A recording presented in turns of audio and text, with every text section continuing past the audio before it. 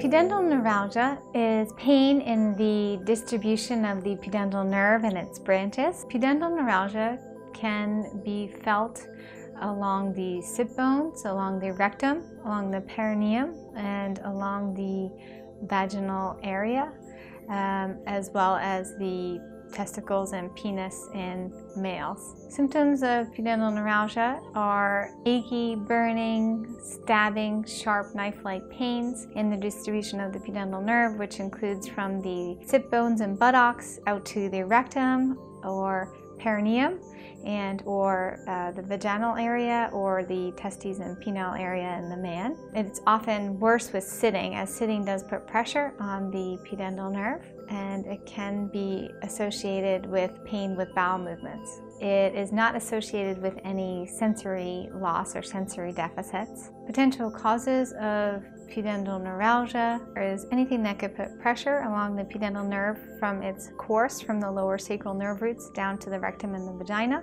Vaginal childbirth could put pressure on the nerve during delivery. A bladder sling operation could put pressure on the nerve. And any other surgery that could cause scar tissue. And entrapment of the pudendal nerve, which can come from higher up from the lumbar sacral plexus, and injuries to the ligaments where the pudendal nerve courses under.